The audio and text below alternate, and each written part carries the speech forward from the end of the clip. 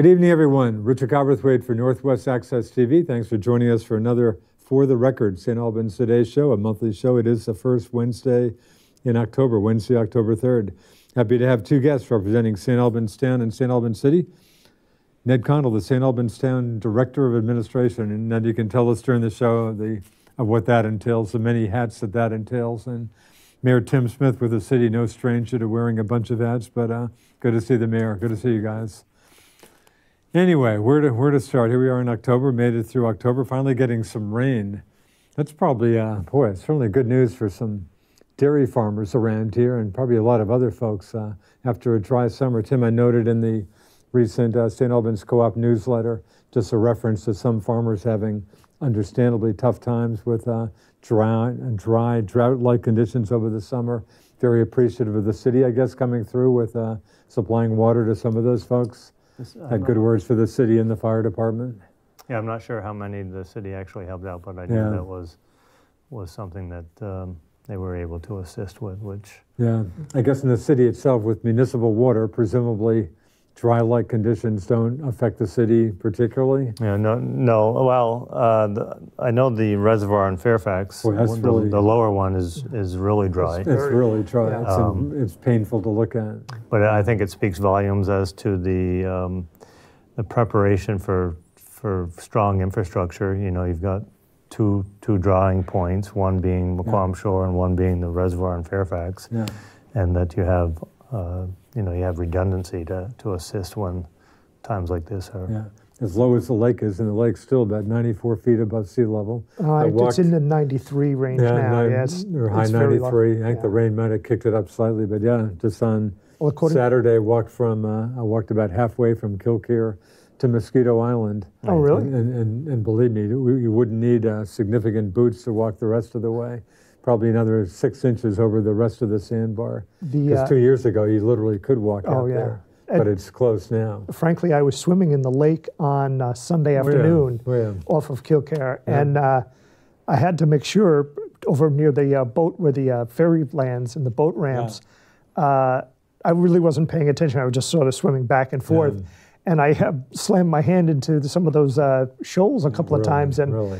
And it was one of those things where I was just sort of aimlessly swimming along and having some fun, and uh, I got a couple of nasty cuts from the shells on those things, and just I'm, I'm impressed you're swimming, so you made it just about into October, huh? Is Uh, more actually- swimming to come? not knock wood. I'll be out there again on Sunday afternoon. Well, really, yeah, A good for you. wetsuit. It's it's actually not bad. So with a wet with a wetsuit, Wet, wetsuit, Oh, and I have a, a neoprene hat that I wear. Yeah, that, that's impressive. I don't, I don't mean to challenge you, Ned, but uh, two or three years ago when we had that 60 or 70 degree uh, Christmas Eve day, I think it yeah, was, yeah, a Um, few years ago. we took all my kids down. They went swimming. Did- did they- on, did uh, they yeah, really? They, jumped in, yeah, Really? and, and some of the neighborhood kids. So Is that right? yeah, yeah. so Wow, that's, our impressive. record late date Wow. for uh, swimming in the lake. Yeah, Well, that- hopefully, that's no more 60s in December, but but I'll ex- I accept I your challenge. I will try to get in the lake every month this That's year. impressive. Yeah, I bet the best I can report is uh, when Champlain Country Club used to not kind of officially close, which Oh. they now do.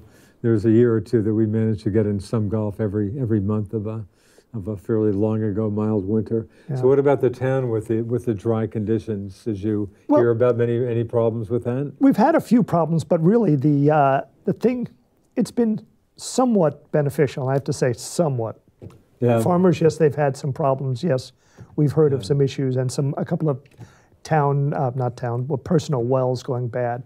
But the uh, the thing that we've noticed is that the uh, the algae blooms in the lake Yeah. were- have been dramatically reduced. Okay. So that's Just not much not much water coming into the lake, I guess. yeah, obviously. not much in, and well, most of the phosphorus and much of the food that the algae feeds on Yeah. is from erosion from uh, you know the Jewett Brook or uh, Stevens Brook. Yeah. So no rain means no erosion means no food means that they're you know st- they're stressed, which is a good thing. Interesting. So that was one one good thing about a dry summer, I guess. Huh? Yeah, it it's good, but I you know it's one of those goods that's like you know I'd rather have a good in a different direction and Yeah. have the, a real permanent solution so that regardless of the water flow and the rainfall, that we can deal with the algal blooms based on us controlling our stormwater flows into the lake rather than Yeah. just you know God bringing us less rain. Yeah, sounds like that's a big issue for you. Again, uh, we had our annual meeting here Monday night, Denise, uh, Tim's wife was here, and who do, who do I see when I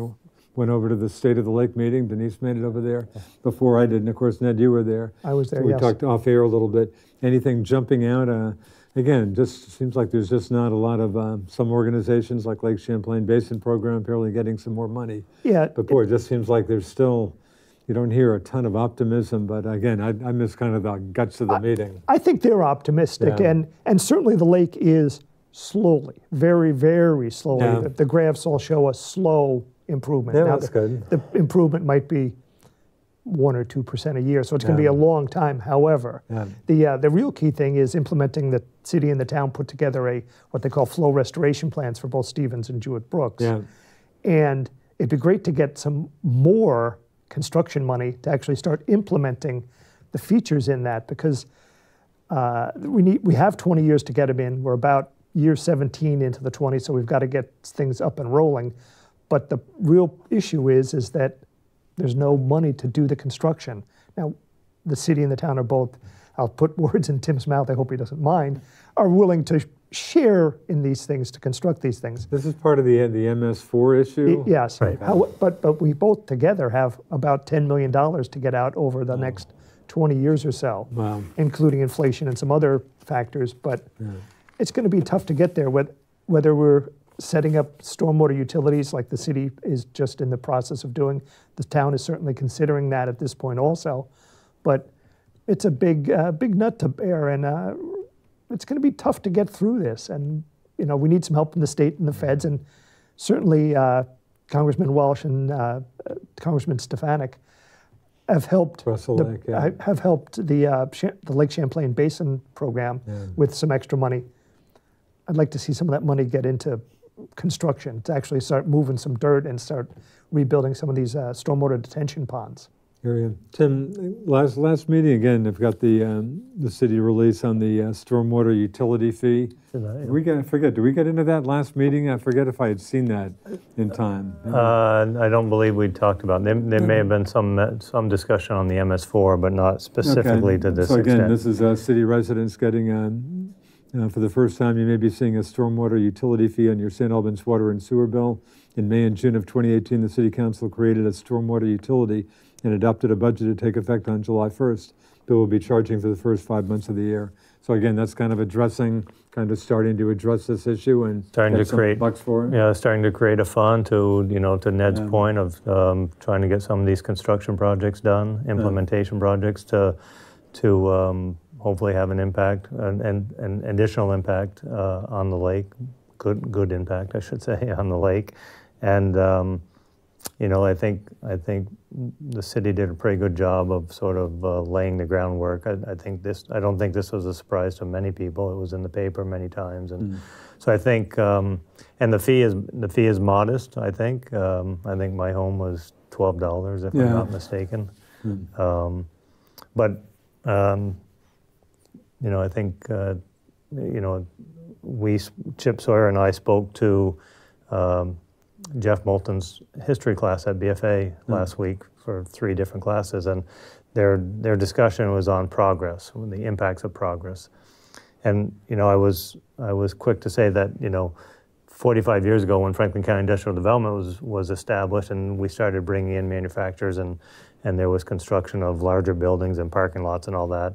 Um, we had, as far as I know, there was a whole lot of knowledge of what the impacts of uh, stormwater runoff would be on, on the lake or the nobody, rivers. nobody probably talked. No- why- no why one would thought that be? Why would that be an issue? or Yeah, no one thought twice about it. I don't know that people realize that Hmm. runoff in the city made it all the way to the lake. I think they may have been naive to that. Hmm. So that was a that was a negative relative to progress. But I think um, obviously we've changed our ways and we are focused on uh, doing implementation projects, like Ned said, working together and trying to resolve this. Um, not this year or next year, but over the next 20, 25 years. Ned, is the town, again, the city's stormwater utility fee, is the town pondering or doing a similar thing, We're, or? we're kicking it around, I can say at this point. It's it's. Huh.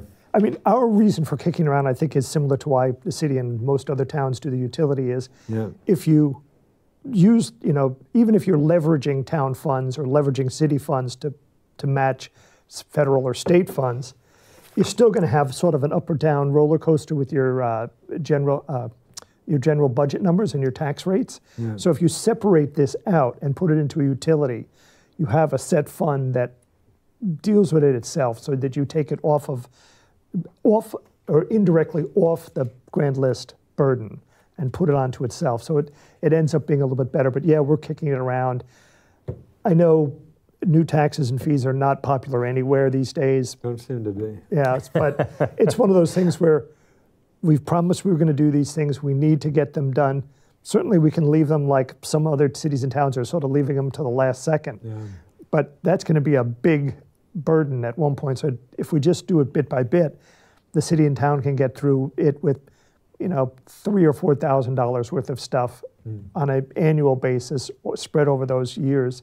So it's sounds like a lot. Yeah, it's going to be annoying, but it's not so big a burden that it's going to, you know, kill us. You mentioned at least a hope for tapping some state and federal funds. Is there any any guarantee? Is the state guaranteed you some bucks? I, something tells me the feds probably haven't, but Uh, the feds indirectly have. It Really? just got to get all the way down to us at this Yeah. point. The state, I think the state's made a reasonable effort at it so far. Yeah. They just need to go through a couple more legislative cycles, in, in- at least in my opinion, Yeah. so the legislatures understand the full breadth of the problem, understand the full costs of the problems, and have some experience with projects getting going through the the original process and getting completed, so that all the little bumps and bruises that you see along the way are sort of defined, and you can sort of eliminate them, and then come up with a fully financed package. Certainly, uh, Treasurer Pearce came up with the uh, I think it was uh, 25 million last year. I think that's a good ballpark figure. I think that seems in the right order of magnitude, whether it's up a million or down a million and the 25 mil specifically for for stormwater implementation Okay. of the stormwater, of the MS4 things spread out Okay. throughout the state. yeah. Interesting. Can Boy, big big issue. Can I just jump in on that a little Yeah. bit, Richard? Um, you know, I, I was a I was a board member of Friends of Northern Lake Champlain, and then uh, I got off when Denise, my wife, became the director. Right. And so I'm pretty well versed on the, the challenges of these nonprofits that are focused on lake or water quality. Yeah. Um, and I have always been a firm believer that uh, uh, the, the time spent, and there's the example I will share, the one event coming up is this Sunday at Georgia Beach. Run, run for the lake. Run for the Lake, Yeah. which is uh, put on by the Friends of Northern Lake Champlain. And, you know, they're spending 75% of their time fundraising. I think, uh, and I'm not sure if, if T- Ned's been on any of their uh, tours, but they've they have had, I think, uh, substantial success in implementing projects that help have an impact on the water quality. And that's, of course, the criticism, the you know, kind of casual criticism one hears so often. Hey, we're spending all this money. Show me some progress. You know, all this money goes into studies. We never see Exactly. anything, but sounds And- like they've got some visible stuff to show. Yeah, and I think that there's there's many projects that they've done that have been successful, and the argument that I've made over the years, and I've made this to Deb Markowitz when she was the secretary of A&R, is that, mm. You know, the A&R budget is I don't know what it is, 250 million or whatever it is. Yeah. You know, throw throw 75,000 at you know the Missisquoi Bay. Uh, or the Basin Organization, or the Friends of Northern Lake St. Albans area watershed. There, Yeah, you know, St. Albans area, just, you know, let them, let them focus on implementation and not fundraising. Yeah. And, you know, the, even if you gave 75 to each of them, that's $225,000, that's a drop in the bucket. Yeah.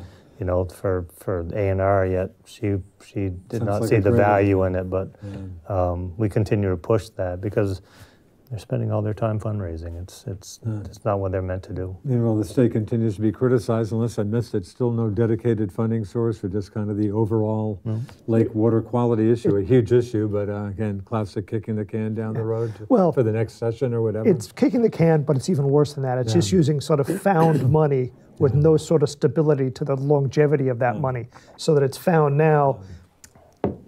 I'm, you know, knocking wood every late fall that mm. yes, it'll be found again next legislative session. Mm. But it, it's it's one of those costs that we we have to bear. The lake is a great asset. It's something that nobody else in New England has, other than a you know a couple of few, few and far between areas, and you know we've got it, and it, it's not like it's going someplace else. We just need to implement the stormwater so that the quality of the lake goes from where it is now, which is eh, mediocre sometimes and good other times, to good all the time, so that people start coming da- up here and staying here and, and vacationing here. Speaking of the Bay, how did the, uh, again, the St. Albans Bay Marina, decent first year for those folks, would you say? I, I, I, I don't have any inside information. I wish I did. Yeah. I, I don't have a boat, at least not anymore. And uh, but looking out my window, it seemed though it was pretty full. Yeah. Uh, from what I've heard from people, they were pretty full, and it, it did pretty well. Yeah, Tim, was that your sense also? I think they got off to a decent start? Got off to a late start, which Late start. impacted them a little bit. Yeah. But um, you know, I was just speaking to a boat owner who historically has uh, docked their boat over in uh, Keeler Bay or one of those in the islands, Yeah, and traveled. You know, it's 40 minutes, yeah. And I've, I've never quite understood that. I mean, your conditions can, can can change drastic, drastically in your 40 40 minute ride over to the boat, and then you end up coming home again. But with it being here in the bay, they can shoot down. They can just hang out on the boat, uh, not necessarily take it out. But they they uh, moved their boat to the marina this year, and they loved it. And they have been a, a large advocate for other boat owners to encourage them to to move into the Yeah. into the marina. And I think I think next year you'll see a much more uh, uh, participation in, in that. With a full season and The full early, season, early yeah, season. Yeah, and I also think that they're that, that now that it's gone through that sort of Right. first cycle, I have a feeling that that by Christmas time, sometime after that, in the midwinter, I would assume that they're going to be damn near full, and Yeah. that, that spots will be hard hard to come by. And, and The one thing that I've noticed, I, I live in the Bay Area. So you're right, you live down there too. I, and I ride my bike through there all the time, and certainly I've said I swim there. Uh, the Bayside Pavilion has been pretty full over the Looks summer. like a, someone yeah. else said that too. Yeah. Not, not to mention the creamy stand across the Yeah. street. Uh, the cre- yeah. No, the bay's been a pretty busy, busy and, place. and as Tim said, that, that forty, you know, that traveling to your boat is money that's just traveling away. Travel. It's going someplace else. It's potentially going Yeah. into a completely different And state or a different country. And kudos to you guys. I'm in the in the Bay Park a couple times a week. One of my part-time jobs. Uh, kid I'm with loves loves being in there, but you know the walking path and stuff. So certainly the Bay Park is getting a fair amount of use, obviously for the big event. Of course, farmers market this summer. I guess the last one was what last Wednesday. Oh, a couple of weeks ago, yeah. Yeah. The, I mean, the, the incredible thing is that um, the path, the paved path around the park, we sort of paved. I don't want to say it was on a lark, but it was one of those things where we had some Yeah. money and we put some money towards it and thought we just got to improve it because the path was in poor condition. Yeah. Uh, last winter, a couple of times the DPW guys, you know, went over to plow it, and it, they literally almost didn't have to plow it because Just with all the foot the, the foot traffic, on had it. literally pounded the snow flat, and this was what I've been relating a story, you know, a secondhand story. Um, they had gone over to plow it at before dawn. It was still dark, and Really? there was a substantial number of footprints on there. That's impressive. And it was it was a big storm that night, a you know, more than just several inches. So that that was a lot of use in the middle of a snowstorm with wind and the dark. That's good. You just made me think of something. Will you take will, it, will you take another shot? Will the PW folks take another shot at a skating rink? I know that was a, that was a, just didn't go too well last winter, but will, will Alan Mashtier and company take another shot at that? Do you think this winter? I, I think hope we so. I, I hope so also. yeah.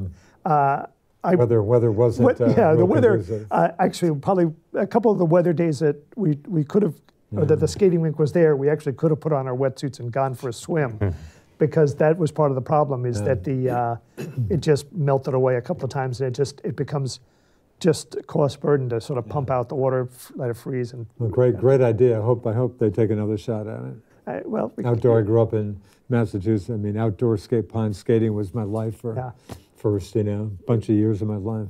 It, it, well, it'd be great if we could get permission to, or if, and if it was safe enough for the ice to freeze in the lake a little bit earlier and get the lake to have some skating on it. But that's, Which I do venture on one, yeah, one, once in a while we get some decent skating Yeah. conditions, but that's obviously that's not going to be for every, not everybody. every year. But the, uh, but the Elaborate on permission. What, what do you mean? Uh, well, I wasn't it- familiar with the that. per- there, we'd like to.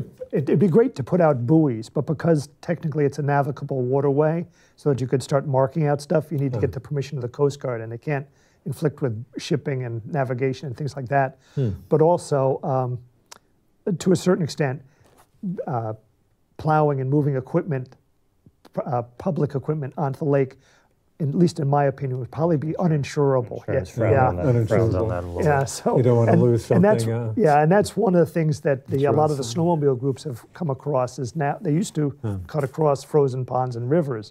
Now everything is bridged, so that there's no more or very limited travel on ice. So it's Interesting. it's one of those things where, you know, it's it's it's problematic. And certainly sitting in my office, some of the bob houses go out early. or I, I'm hoping they have flotation underneath them Yeah. because some of them go out a little bit earlier than I would have said was sufficient ice. But last winter we had we had good ice. We had a, almost a foot. Yeah. Just um, love to hear from folks out there. Again, this is a live show, at least if you're watching us live right now. 528 5315 is our number.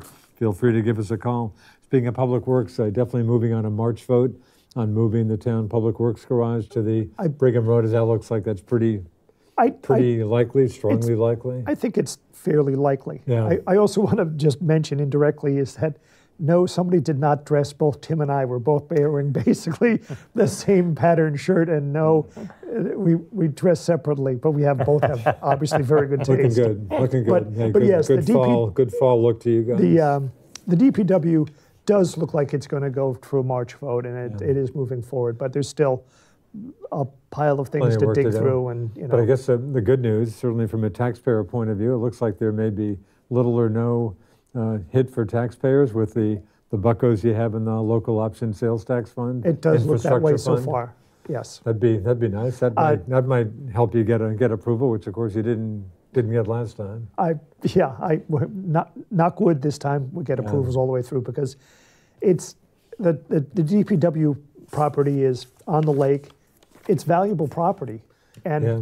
it it's got better uses than a DPW garage. It's just we need to. That's know, had that used for how how how Oh. dates too? I'm talking a long time. a long time. I I.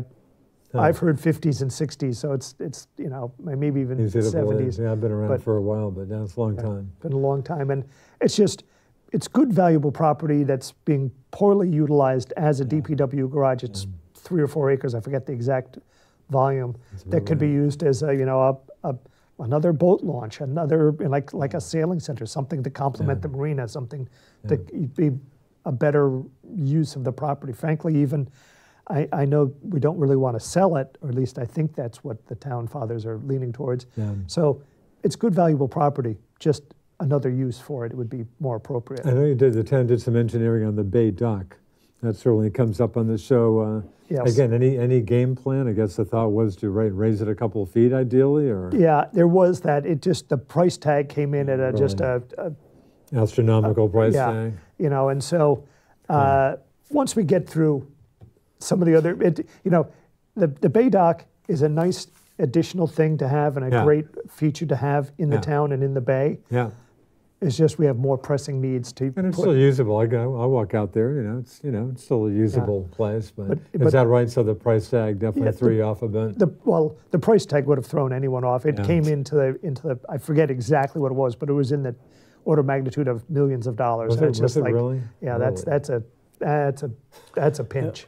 I guess Wow. my, I, I think there's um, uh, poor signage on the bridge that uh, it should be improved to prevent cars from going off the end of it. I think that's, uh, me, That, Well- that, that of course didn't. it did Aren't happen. there usually, aren't usually have some big boulders here. Well, there- there's a, actually, there's a curb Yeah. at the end, and I don't, I wish I had Now seen it, but that. hit, I I don't know if it Oh.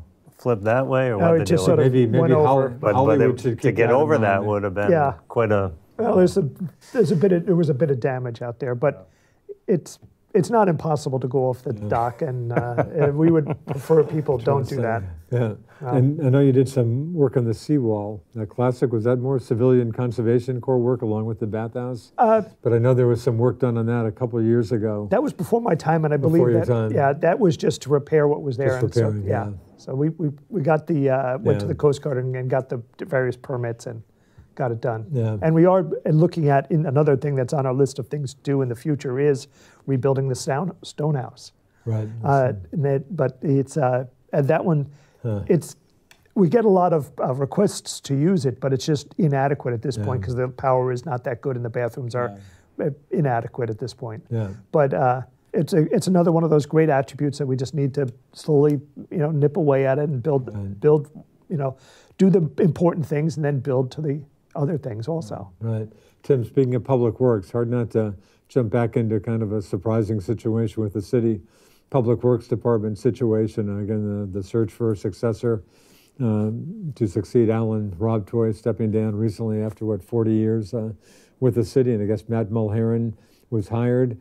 And again, just didn't last too long. Decided pretty quickly he was uh, more comfortable going back to his uh, post as what deputy city fire Yeah, chief. assistant So just not chief, a yeah. assistant fire, just not a good fit, or again, kind of a surprising Oh, development. I, I- I don't know about, uh, I think it was a good fit. Yeah, I mean, Matt, thought so. Matt had uh, extensive knowledge. Uh, You know, he covered Public Works when Alan was out Oh, with his heart Wow. issues years ago. Huh. He's certified, you know, the, the position was going to entail oversight of the water, wastewater plant as well as the water plant. So he sounded like, well, I mean, And very had- well qualified. And he was, job. he was certified water plant operator. Right. So, I mean, he had, he had two of the three uh, pieces nailed pretty well.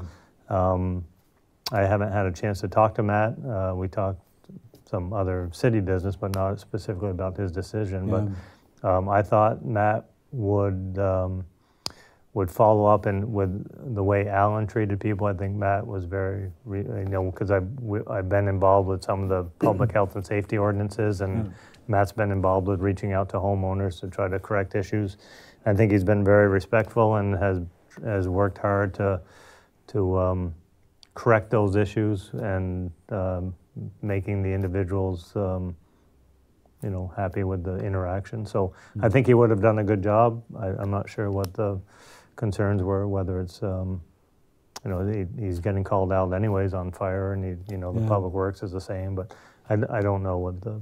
But in any was. case, he decided to, do uh, whatever, and, and went back to his. I uh, went back. He's back to fire department, um, overseeing that um, day-to-day operations. You know, Gary is uh, as chief is more um, administrative piece of it, um, but Matt is uh, boots on He the certainly has spent a few hours a week on the police department, I suspect, Right. too. Yep. So um, So Marty Manahan has jumped in as, uh, what, in- as interim? just Director? just um, you know make sure the uh, the things that need to be done. Yeah. You know whether it's a down tree or whatever the case is. Marty's just coordinating with the public works crew to make sure that everyone's on the same page and we're moving forward. So it's a short-term fix right now. You know Marty has many things on his plate. Yeah, Marty's got a few, few hats he wears, I think, also, huh? So it's it's not, in my opinion, I don't think it's going to be a long-term fix by any means, but um, uh, we have a council meeting on uh, Monday night, so I'm sure we'll get the update from Dom as to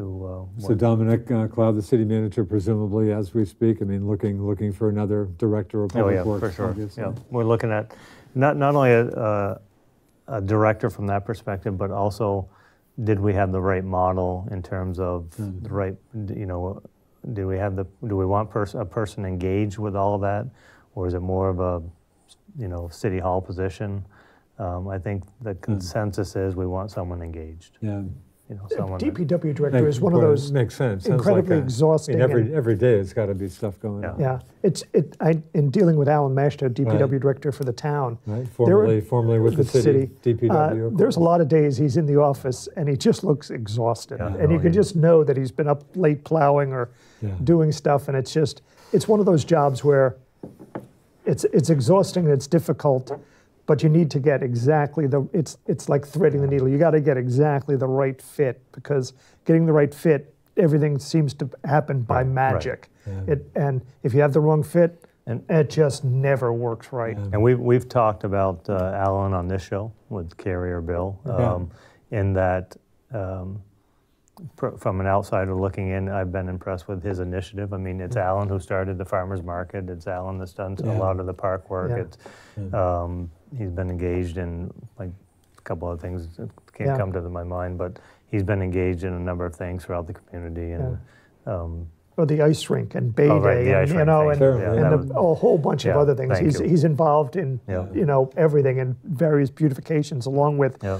paving and stormwater and mowing the sides of the roads and you know sure and, and sound like fixing a job the where you- pump station. You know the Yeah, no, it sounds like a job where one sure sounds like needs to be out and about. oh, pretty and the town and- he's doing the tra- trail work in the town forest also. Yeah, I mean, yeah. Oh, is that right? the guy's everywhere. Um, Yeah, and he's very engaged, Yeah. he lives in the community. It's great to see Yeah. that piece of it. So, So is that, that's a, that's a city manager appointment, Tim, for the new public works Yes, director is, with yeah. council approval or not even the with council, approval. Exactly.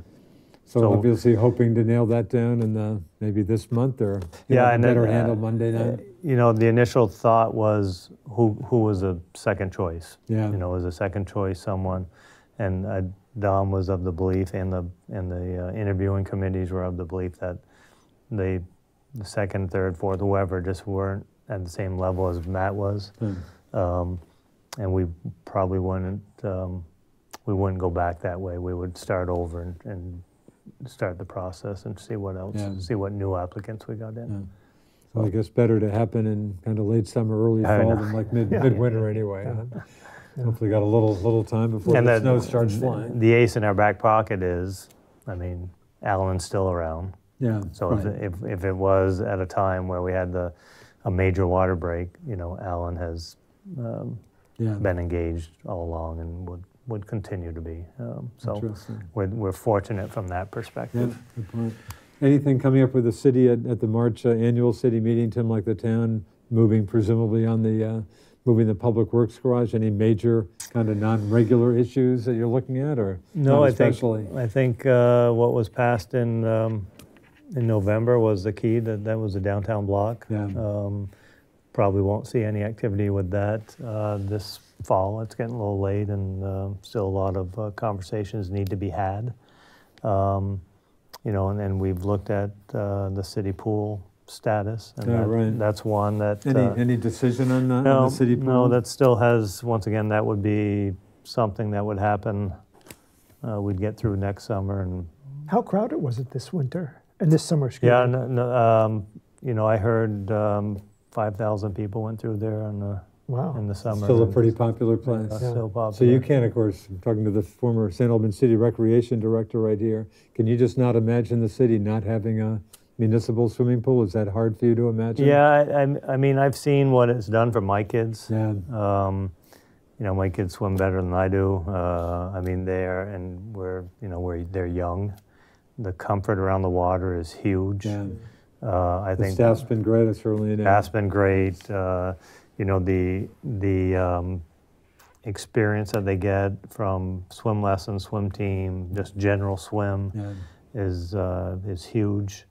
Um, and you know whether this is coincidence or not, but we when I don't know that we've had any situation in the last 50 years where there's a ch- child that's drowned in point. St. Albans or Franklin County. Yeah. You know, I don't I don't know of any. Whether that ties back to all the lessons that they do at the Yeah. pool and and the and the uh, swim team, Yeah, that's a good Um, point. you know, it's, it's, um, I think it's a valuable tool. Um, we've had, I've had conversations with Dominic even before I was mayor that, you know, we need, if we want to draw families to St. Albans, Yeah. we want to, we need to give people a reason to move to St. Albans. Yeah. You know, if, there's hundreds of cities that have no infrastructure and you just want to move and you go to school and that's it. Yeah. I think St. Albans is focused on between what Ned is involved with, with bike paths and getting a path up to the complex and and the rail trail and, and even a walking path out to um, to Walmart and I mean all, those are all reasons that people. I mean I noticed that I, I think I shared with you Richard. I was in Boulder, Colorado this summer with the family, Right. and there was a walking Wow. path everywhere you went. There was a bet. walking or a bike path. Yeah. You didn't have to go on the street at all. You, you, there was underpasses. You could go wherever you wanted. Yeah, that's great. Um, and, and that just, for me, just speaks of community. I mean, that's. I hear you. When I'm on the road, I just when I when I see stuff like that, I'm always looking for that. I'm Yeah. lucky enough to go to Martha's Vineyard for a long summer weekend, and again, bike paths, walking paths all over the place. But that's one of the Tim's bringing up a key point is all of, all of the cities and towns that we're competing against, Yeah. whether it's in Canada or the United Yeah. States or anywhere in the world, Yeah. they all have water and sewer. They all have three-phase power. They all have broadband connectivity. It's the little amenities, the little niceties that you add on there that always, you know, when you're expending money, always look a, a tad superfluous. Like, how many bike paths do we need? How many, you know, city pools or things like that? But those are the things that draw people to your communities because, you know, I've been involved with various economic development people, and, you know, I, I, they always say, well, what can you do for us? Well, I point out the my office window and say, mm. we have a lake. Yeah. We have the marina. We have all these other things. We have amenities. And, well, so and so's going to give us a tax break. Well, good luck there. And that, you know, it, it's a little bit flippant to say them good luck. Yeah. But we have, with the amenities that we're, we have and the amenities that we're planning on, it's a bigger draw. It's a, you're, you're more competitive in the market. Just giving Hmm. somebody a tax break, that's nice. But when the tax break's over, you can sort of plan that they're going to be up and out to Yeah. someplace Yeah, else. the, you know, I always envision myself driving into a, when, as I drive around St. Albans, that that would be my first time driving into the community. And, Yeah. and, and when, every time I go by the Bay Park, Yeah. you know, if I'm driving by, I'm thinking if someone just came upon this, they would say, geez, look at this, right on the, place, It's really. a sweet place. Same with Taylor Park. You pull into town, you go down Main Street, and you're like, look at this. I've never, and I've had many people tell me, I, I didn't realize St. Albans was so nice. and, Yeah. You know, we had, we had fam, I spoke to a family from New Jersey this summer that ended up staying in St. Albans because of the hotel was cheaper for the family of four. And they found plenty to do between the bay, the Kill Kare, the, uh, Museum's Col- pretty nice. My museum. kid volunteers here Fridays, but I mean, how, how nice is for not a big place? St. Albans Museum's got a great, great museum. it- Uh, Friday, for the record, for folks watching us live, is its last day of the season, I think. Oh, is it? Yep.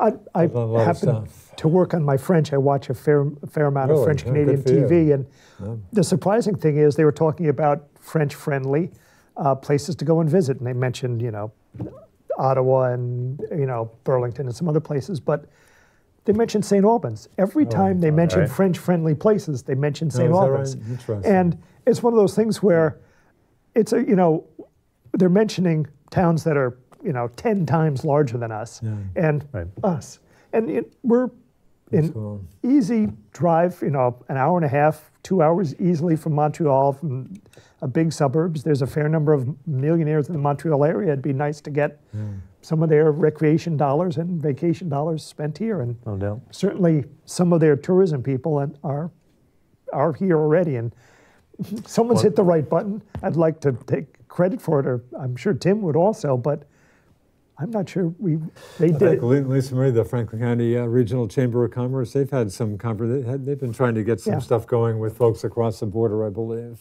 Yeah, we've done the, we worked on the cross-border map where we did the regional map with St. John and Cowansville. And, and Right. we didn't go into Montreal, we didn't go into Burlington. We focus, where the focus is on the region Yeah. and trying to get people to look at us as a region, not just Yeah. St. Right. Albans and what, what are you going to do in St. Albans for four days? Yeah. Well, you, we may not be able to entertain you for four days, but the region can entertain you for four Yeah. days. I would say I, one of my conversations on Main Street was I met a lady from Montreal who has a home on Maquam Shore or on the lake, and she was downtown walking with a friend from Toronto and a friend from Ottawa, Hmm. and we could not say enough good things about the region and Hmm. everything that's going on, and and that was that wasn't unique. I heard that. I heard that all the time. Yeah. Today, today we had. I don't know if you drove, drove through town, but um, there was Norwich University brought a bus load of students up, and they did a. Uh, it was all about uh, the St. Albans raid and the Revolutionary War, Oh, and, the- and the, their I don't know if it was their teacher or guide, but he walked them throughout the town and the park and pointed out points of interest, and, Oh, yeah? and there had to have been had to been 25, 30 Really? students with them. So I managed to introduce myself and Yeah, that's great. thank them for coming. But that we're seeing more and more of that type of stuff. I'm, I'm sure. I'm sure Tim saw it. Ned, I'm sure you did. Montreal Gazette had a had a great story on St. Albans. What a year or two ago. If you Oh, didn't wow, see that, I didn't see it. Talk to the city manager. I'm sure he could quickly show you that. But just, uh, I mean, a great story. He couldn't have, uh, you know, couldn't have paid paid big buckos for someone Oh. to have a nicer story about St. Albans. it's an just- easy ride from Yeah. there and And just to Yeah. just to augment that, I mean, uh, the last Vermont Life that was printed had a large article on St. Albans. Downtown St. Albans, among And if others. you haven't seen that, I have extra copies of that. And, you know, there was a piece in the same one about Hudaks and Yeah. the, the farm, the Good point. farmstead. And so there's that. And then a month ago, we hosted a lady f- that was a um, freelance writer for um, AAA New England, the Journal. I think I saw it, right. And- so that'll be, you get a story from those folks at some point, Yeah, should, should be, and she was more, she was more impressed. Um, she was so impressed with the quality of food in all the restaurants. She ate at Bayside, she ate at uh, Jeff's, Huh. Twigs, uh, One Fed. Um, she was totally impressed with surrounding areas. The only, if there was an issue with her visit, is her story can only be 350 words. So, No, is that right? uh, but Boy, that's hopefully, it's, tough. yeah, hopefully it's enough.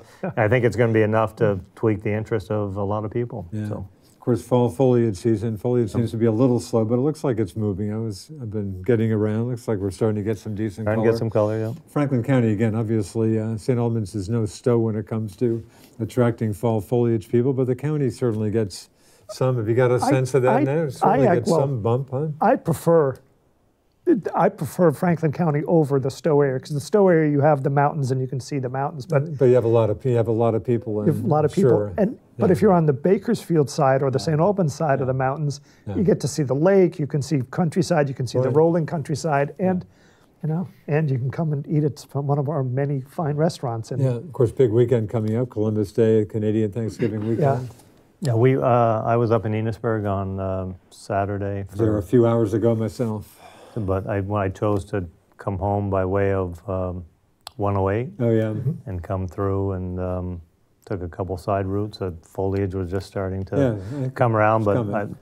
I, I that 108 and side roads up through there, Duffy Hill Road and um, Pumpkin Village Road. I mean, you cannot find Oh yeah. better country roads than what I'll we give you a have couple, here in couple of my favorites. South Richford Road between Richford and, Yeah. and Or Montgomery, Montgomery, Village, yeah. Longley Bridge Road. I was two of biking my old along uh, but yeah. Pumpkin Village Road, and that is one of the most beautiful roads around. It's got good scenery Yeah. in either direction. No, I would recommend also uh, North and South Road in those areas. Just you get Yeah. mountains on one side, Yeah. rolling countryside on the other. Oh no, it's incredible. Yeah, And, and again, if you want to get out and walk, plenty of good places to walk. I mean, just uh, the rail, the rail trail, great place to be. Yeah, I think one of the most impressive vistas is coming down into Fairfield. Yeah. You come, Yeah. you go past the Corey, Corey home, and that there's that hillside of mountains off to the right. And when those are in full bloom, I don't. That's that's a tough view to beat. Yeah, no, it's pretty pretty impressive stuff. So, Water, Actually- waste, water. To get down to a more mundane subject, anything to report, Mr. Mayor, on the water wastewater issue with the city and town? Oh, waiting for a decision on the court Yeah. level. No one's. Will this uh, be? I mean, will this be? I mean, a significant. This. I mean, this may be a ma- like a major decision. This we're we're past like preliminaries, or is that never totally clear to you? I, I believe we are. I think the So- so decision this will be should be made whether the town was impacted by the affiliation, fee or it's Affiliation not. fee. Interesting. And um, however it plays out, you know, Hmm. whoever it doesn't favor, I'm thinking would take the first step in the next direction. Huh. Um, what that looks like, I don't know, but um, I was of the belief that they were meeting. Um, there was going to be a, a court date for the end of August, and it got moved to October. So. Um, Hmm. It should be something that comes down the, the pike here Yeah. fairly Is that, does that does that issue cross your desk much does, or not? Thankfully, it does not cross my desk. Wow, what, a, what a break, huh? Oh yeah, that I'm I, that I've dodged that bullet. Thankfully. Um, anyway, so we we may hear some news on that in the not too distant future, Yeah, future. I would. I would expect so.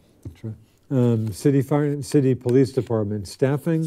Seems like when we last left that, we down a couple spots. Well, I know, Tim, or? I know uh, Bill Nyan and I had sat down and had coffee one day and we talked about that and Bill was very concerned about it because there was about six Yeah, vacancies. really? Right. Um, We lost a, a good officer in Ron Hogue going to, Right. to Essex. I thought Ron did a wonderful job. yeah, And, um, and so prior to, so Bill and I met, and then I just wanted, I gave Chief a heads up. I said, this Yeah. is going to be part of your conversation. They're concerned.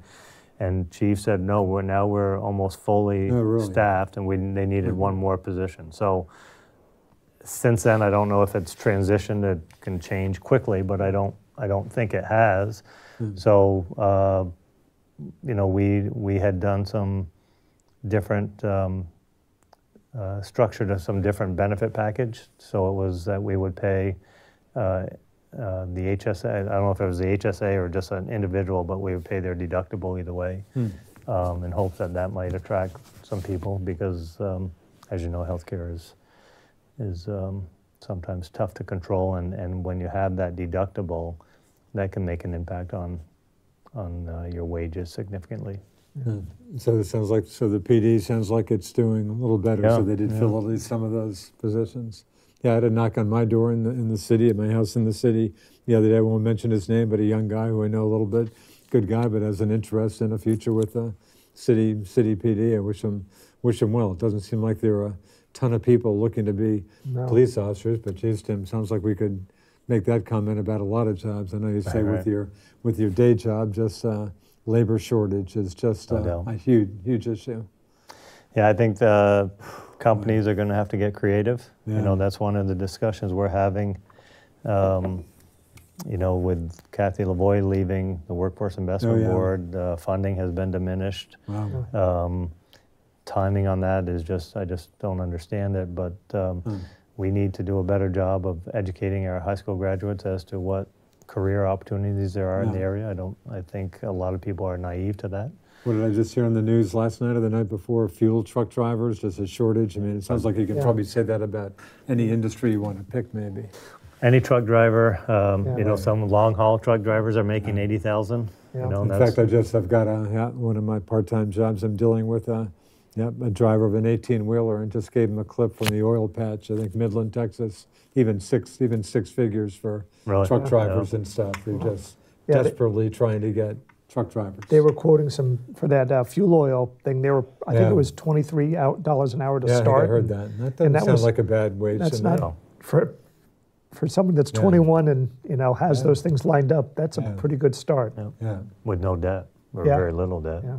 Boy, but just a huge issue. How- With municipal government, are you, you doing okay? Of course, we're talking about Public Works uh, Director, but you filling, I mean, city and town are pretty much up to speed in terms of positions. Is it harder to find jobs for It- municipal It jobs? depends too? and it, it fluctuates and it Yeah. depends on the seasonality and who's leaving and why and Yeah. how and stuff like that. But Yeah, we're pretty much up to speed. yeah. I think both communities have strong teams in place. Yeah. I, I know what's I know City Hall with Marty and Chip and Dominic and Yeah, Kristen and um, you know uh, when Alan was I, I just think it was strong and then with the town Mm. with uh, Ned, Alan, Carrie, Jen, um, Becky, um, Anna. I mean they've- I, there's some longevity there. There's people that live in the community that are committed to both city and town. Um, so I think we're fortunate from that perspective. yeah. Tim, this might affect both your job as mayor and Franklin County Industrial Development Corp. I guess I was thinking that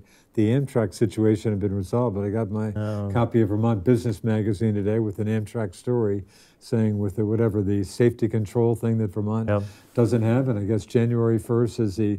I'm glad I've got a trip to DC in November. I'm taking the train back from DC. I'm glad I'll get at least one more trip on the Vermonter, but that's still. Uh, Yeah, I thought I thought we were exempt from that I thought- I uh, at I- one that's what I point, thought I and heard, then too. it uh, reared its head again. Really? Um, Huh. I thought we were making, and, and I, I know we were making some headway getting into Montreal Sounds again. like it. Sounds like slow progress anyway. but the safety Huh. piece could derail that. No, no pun intended, I guess. Uh, Yeah. I, I got stopped by Amtrak crossing in front of me on Lake Street just the other night, Oh, and yeah. there were a fair number of people coming off On the, the train. north- on the northbound On train. northbound train, yeah. Yeah. This is about 9.30, 9.15. And it was, that was more than just locals riding back from someplace else. Yeah. There's a gentleman who I met uh, recently who has a uh, B2B or a, maybe a, and he might even call it a bed and breakfast, but um, Yeah. he, he says that's one of our uh, greatest assets is a, is the train. He, he's got people that come into St. Albans and just walk up. He, he's got a place on Main Street. They just walk up from the, excuse me, from the train yard. And he said um, a lot of his clients just come up for the weekend or the day. yeah. Or Yeah, no, of course, St. Albans, obviously the, the northern terminus of the uh, Vermonter. But yeah, I hope I'm around long enough and I hope they keep making some progress. I mean, I'm close, and I'm about a 10-minute walk from the train station. Yeah. I look forward to the days, I've been looking forward to years to be able to walk to the train station, get on the train and get up to Montreal and be deposited in downtown, but we'll, we'll see if My, uh, we make one it. of my fond memories of growing up in '76 when the Olympics were in Montreal. Oh, wow, which I caught myself. I was Yeah. just, just, just, just got into town the summer before. Really, uh, Tom Walsh Senior uh, Hmm. was the ticket Oh, yeah, master, I guess, at, Wow. for Amtrak, and he took uh, a number of his kids and neighborhood kids up, and we went to, we hung out and uh, we watched the uh, Olympic marathon. wow. Saw Dwight, uh, Dwight uh, Stone, who was a high jumper back then, but it was, you know, we rode up and back, and it was Wow. it was a great time.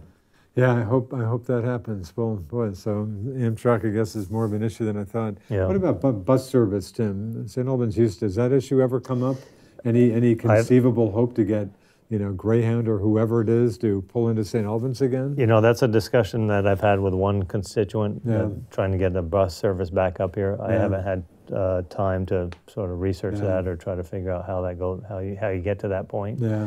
But that is something. Um, so as the council, we're trying to establish a goals and strategies meeting, and that would be one that I bring up: is how do we, how can we entice Greyhound or Megabus or one of them to Yeah. to sort of come half hour north from Burlington. Yeah. It's, we just finished our uh, town plan, and Oh, one yeah, of the goals in there is to get public transit more right? more established in the area, but also to get interstate public transit. And right now, it goes up as far as I forget if it's uh, Chimney Corners or where, but it gets closed. Oh yeah. But and they're they're amenable to coming up a little farther, but they want a place to you know have a ticket stand, have a person, have a And they shelter. being, and who are you talking about uh, specifically? I, I'm not at liberty to say, but I Oh, would I would assume a Greyhound style company Okay, to come in re- really? Wow. and have you know interstate bus service. Yeah. It'd be great to coordinate that with our friends on the New York side, so that we could have some sort of a a loop either one way or the other way or both ways, and have some Yeah. you know cross pollination. But it's it's a it's a tough thing. So like just like Amtrak, unless you're connecting Yeah. to Montreal or connecting from Montreal, it's hard to get them to to stop and take you somewhat seriously. Right. Rec path that came up briefly earlier. Again, the rec path that again voters defeated a while back. Uh, at least trying to get the path up to Collins Perley. Is that is that It's, still alive? It's still alive. It's not a, a full path from one end to the other end. Yeah. It's mainly just a specific crossing of the uh, SASH at this point. yeah. Just to get across, we're hoping that that's sort of the um, impetus and the pollination and the seed to branch out from there. But it's in terms of our, our looking at it is the there's a certain number of the SASH is a limited access highway, so you're not supposed no pedestrians are supposed to be along it Yeah. we all know that there are a fair number of pedestrians that use it. And, and I have to admit, I am one of those pedestrians. I ride my bike. I live up on the, the in the Bay Area. Yeah. And I cut across the SASH. I ride up uh, Thorpe Avenue Extension, Yeah. d- ride across and go up through Thorpe Avenue. We won't we won't And- tell anybody you're doing. Well, I, I have to say, in, in going through there, I've been through there a couple of weeks ago on a later in the night than I'd like to be, Yeah. and I saw people out there. That's And, right. and I've been out there in October, November, Yeah. and there's people out there. And certainly the fence on either end, uh, either side of the SASH has been, has been crushed down. But, and I have to say, it's been crushed down, but repaired in a manner that somebody with real fencing tools has done it. It's not just some teenage yahoos are doing it. It's a, a dad or a mom getting in there and cutting the fence and reinforcing it so the fence doesn't come, you know, completely apart. And also at the bottom of the drainage ditches, at least last fall, uh, there were two Little, little there were little bridges on both sides Right. that quickly disappeared before the snow came. But it's it's not your average couple of yahoos out there cutting through. It's moms and dads who are, and it's but it's Well, we, I- need, we need to have it as a,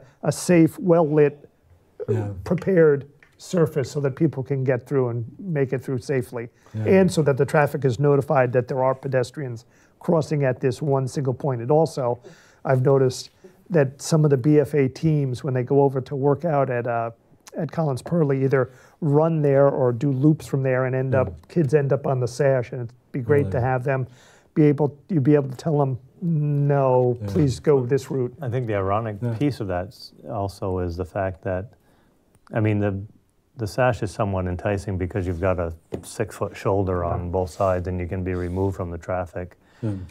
You would feel much safer going on that road than you would Fairfax Street. Oh, I, I I, mean, I agree. You know, I Fairfax agree. Street. I agree. If you're if you're trying to direct people to get to the complex by going up Fair, Fairfax is no shoulder, Yeah. narrow to begin with. You know, when I was in high school, we used to run that, and it was almost deserted. Yeah. But now it's a it's a throughway. Uh, I say that in the sense Yeah. that people are Yeah. connecting to right. different points. Our, our Um, long-range plans that are Yeah. very much up in the air is we'd like to have a, a crossing, uh, uh, you know, get rid of the little bridge that's across the, um, I forget, I guess that's Stevens Brook up there, Yeah. uh, from Thorpe, cross onto Grice Brook, have a, you know, a real, a permanent ADA accessible structure across the brook, but also go down in through the uh, cemetery. And we've, when, we've had some talks with them and they seem amenable to going down there. We just need to get all the little nuts and bolts put together and the funding put together to get this all done so that it's ADA accessible, well laid out and well planned. But it's it's something that's it's another one of those amenities that once we have it, it's going to make the community better and stronger and more competitive with our economic uh, our, com- our economic competitors throughout the region and throughout the, the country. Speaking of ADA accessible, or in this case, or, or lack thereof, uh, the town hall still hang, hanging in with the town hall. Still hanging in. Uh, well, eh, we're, yes, we're hanging in. The the one problem we have at town hall is you cannot have the coffee maker, the microwave, and the air conditioner that's in the window on at the same time because we blow a fuse. Do- do? So so there's a sign at the end. with Air conditioning season is over, but there's been any number of times where you'll be sitting. I, my computer's on the fuse that's Really? there, and you sit there and then. Blink, it's gone. It's like, you know, you, and I say like- several sounds like bad words, problem. and you know you run out to the hallway and you flip the breaker and you come back and Really? you know but it's it, town hall is a great historic building Yeah. it's just reached the end of its re, reasonable useful lifespan as a town hall we will in the future And you, need and you are moving. I mean, so you, you think a different site is definitely I, I think it's in the, it's it's a different site is the way to go. Yes, just because rebuilding it in place or building a new place end up being the same Yeah. and nearly the same pr- price. However, rebuilding it in place, we don't end up with a large enough meeting room. We don't end up with a whole bunch of other things that we need, and and we're still we don't have parking. We don't have a whole bunch of other things, and it's just in terms of the community, it's not a geographically centrally located sort of a thing. Right. That issue's not, that's not on the ballot in March. No, it is not. Uh, It- that- that- Possibly later, later in the year? or- I think no. I would say that's later in that the- our, right? our lifetimes. Is that right? It's a ways down the road. Several years away, I would say, because we need to plan it out.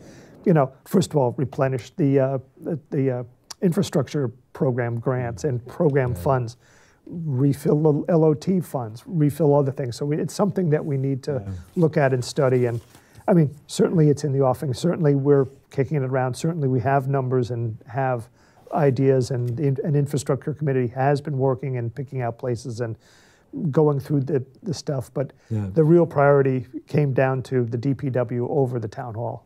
Other people disagreed, but really the DPW is the criti- more critical thing. Gina, it sounds, sounds like we need to find some more things for you to be working. I just don't think there's too much going on in the I- town for you at this I- point. I- Kidding. well, my, my list has gone from 45 different projects to down to only into the mid 30s, so it's not as bad as it used to be. But there's, it's it's a fair amount of juggling to keep that many Sounds number like of it. balls. And Tim, I'll give you the last. We're good down to about a minute or so. Anything you want to quickly mention, uh, wrap up that we haven't jumped into?